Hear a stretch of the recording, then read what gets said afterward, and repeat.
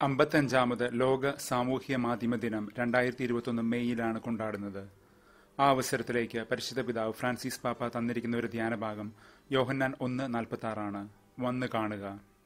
നസ്രത്തിൽ നിന്ന് എന്തെങ്കിലും നന്മ വരുമോ എന്ന് ശങ്കിക്കുന്ന നഥാനയലിനോട് ഫിലിപ്പോസ് പറയുന്ന വാക്കുകൾ. വചനം വിശുദ്ധ ഗ്രന്ഥത്തിൽ ഇതിൽ വിരിയുന്നതിന് മുൻപ് ജീവിതങ്ങളിൽ പ്രകാശിതമായിരുന്നു. ഇന്നലെ നാം കണ്ട ലിബേർ വീത്തെ മനുഷ്യായുസിന്റെ ഗ്രന്ഥം. നോട്ടങ്ങളും സാക്ഷ്യങ്ങളും അനുഭവങ്ങളും നേർക്കാഴ്ചകളും അടുപ്പവും കൊണ്ട് ജീവന്റെ വചനത്തെ പേറിയവർ. ഇങ്ങനെ ജീവനുള്ളവരുടെ സമ്പർക്കത്തിലാണ് ജീവന്റെ വചനം പ്രസരിച്ചതുപോലും മനുഷ്യൻ ആയിരിക്കുന്നിടത്തേക്ക് വചനം ചൊരിയപ്പെട്ടു. ദൈവം നാം ഇരിക്കുന്നിടത്ത് നമ്മെ തേടി വരുമെന്നാണല്ലോ.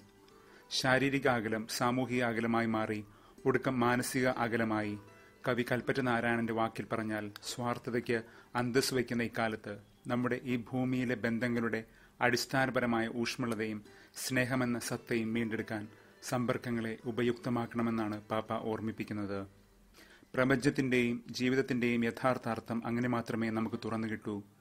ഇന്നലെ നാം കണ്ടതുപോലെ നമുക്ക് വേണ്ടി വന്ന മാംസം ധരിച്ച വചനത്തെ മനസ്സിലാക്കുമ്പോൾ വചനം വഴിവിളക്കാകുമ്പോൾ ഫിലിപ്പോസ് നഥാനിയലിനോട് വന്നു കാണുക എന്ന് പറയുന്നതിന് മുൻപ് നാഥൻ തന്റെ ആദിശിഷ്യരുടെ അടുത്ത് താൻ പാർക്കുന്നിടം വന്നു കാണാൻ ക്ഷണിക്കുന്ന ഭാഗമാണ് ഇന്ന് യോഹന്നാൻ ഒന്ന് മുപ്പത്തഞ്ച് മുതൽ നാൽപ്പത്തിരണ്ട് വരെയുള്ള സുവിശേഷ ഭാഗത്ത്. അവർ വന്നു കണ്ടു കീഴടക്കി. ദൈവം അവരെയും അവർ ദൈവത്തെയും. ഞങ്ങൾ മിഷിഹായെ കണ്ടുവെന്ന് പാറ തന്നെയായ പത്രോസിനോട് പ്രസംഗിക്കാൻ പോലും സഹോദരൻ അന്ത്രയോസ് ആ അനുഭവത്താൽ ശക്തനായി. ഇന്നലെയും മർക്കോസ് രണ്ട് പതിമൂന്ന് മുതൽ പതിനേഴ് വരെയുള്ള ഭാഗത്ത് മത്തായി എന്ന ശിഷ്യനെ വിളിക്കുന്ന ഭാഗമായിരുന്നല്ലോ. പാപികളെ വിളിക്കാൻ തന്നെയാണ് താൻ വന്നത് എന്ന് നാഥനോട് പ്രഖ്യാപിക്കുന്നുമുണ്ട്. ഒരു മനുഷ്യായുസിന്റെ വേദനകളുടെ പുസ്തകം തന്നെയാണ് ഇന്നത്തെ സങ്കീർത്തനം നാൽപ്പത്. കനം തെങ്ങിയ കയ്പിലും അത് പറഞ്ഞറിയിക്കാനാവാത്ത ഒരു മാധുര്യം വിരിയിക്കുന്നുണ്ട്. നമ്മൾ എത്ര തകർന്നവരാണെങ്കിലും നമ്മുടെ രക്ഷകനായ ദൈവത്തിന് നമ്മളോട് അളവറ്റ കരുണയും കരുതലുമുണ്ട്. ഇതിനപ്പുറം എന്തൊരോർമ്മയാണ് തിക്ത ജീവിതത്തിനു മേൽ മധുരം വിരിക്കാൻ നമുക്ക് വേണ്ടത്? ഹെബ്രായർ പത്താം അധ്യായം ഈ സങ്കീർത്തനത്തെ സ്വർഗത്തോളമാണ് ഉയർത്തുന്നത്. വേദനിക്കുന്ന ഒരു മനുഷ്യന്റെ നോവുപാട്ടിന് സ്വർഗവീണകളുടെ ഇമ്പം പകരുന്നു. മനുഷ്യാവതാര മുഹൂർത്തത്തിൽ പുത്രനായ ദൈവം അരുൾ ചെയ്തത് എന്നാണ് ഹെബ്രായർ പത്ത് ഈ സങ്കീർത്തനത്തെ കുറിക്കുന്നത്. ഇതാ ഞാൻ അങ്ങനെക്കൊരു ശരീരം തന്നു അങ്ങയുടെ ഹിതം നിറവേറ്റാനായി ഞാൻ വന്നിരിക്കുന്നു.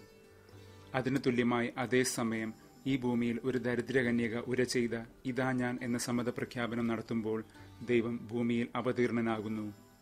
ദൈവത്തിന്റെ ആവേശവും മനുഷ്യന്റെ ആവശ്യവും അതാണ് മനുഷ്യാവതാര രഹസ്യത്തിന്റെ സാങ്കത്യം. ശരീരമെടുത്ത് നമ്മെ തേടി വന്ന ദൈവം നമ്മെ പഠിപ്പിക്കുന്നത് ശരീരമുള്ള നമ്മുടെ സഹജീവികളെ തേടി കണ്ടെത്താൻ തന്നെയാണ്. നമ്മളൊന്നും അശരീരികളല്ല. കയ്പും കണ്ണീരും ചിരിമണികളും ഇഴചേരുന്ന സശരീരികളാണ്.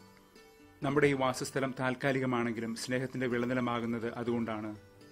ഇന്ന് സാമുവേലിന്റെ ഒന്നാം പുസ്തകത്തിൽ കുഞ്ഞു സാമുവലും ദൈവത്തോട് പറയുന്നു ഇതാ ഞാൻ കർത്താവെ അരുൾ ചെയ്താലും. ശരീരം എന്നത് രക്ഷയ്ക്ക് ഒരു കടമ്പയല്ല കൂടെപ്പിറപ്പാണ്. ശ്രീഹ ഇന്ന് ഒന്ന് കൊറിന്തോസ് ആറിൽ പഠിപ്പിക്കുന്നു ഉയർപ്പിനായി സജ്ജീകരിക്കപ്പെട്ടതാണ് മനുഷ്യ ശരീരം പരിശുദ്ധാത്മാവിന്റെ ആലയം.